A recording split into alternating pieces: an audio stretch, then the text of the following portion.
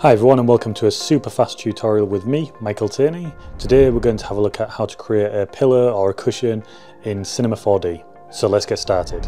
First go to display and Gouraud shading lines and then we'll select the cube.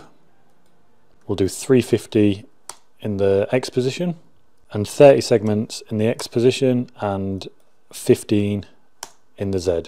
Make this editable.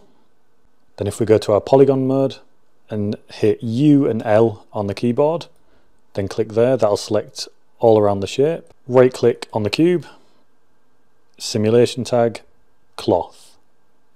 Go to our dresser, we'll hit 2 on the width and 300 on the steps, then we'll click set seam polys and then just hit Dress-O-Matic and then we're done.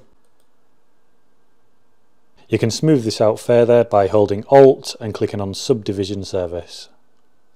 You can use this effect on multiple shapes, even editable text. And there we are, the quickest and easiest way how to create a pillar or a cushion in Cinema 4D. Don't forget to like, comment and subscribe, and feel free to follow me on Instagram at tierney.tv. Thanks for watching.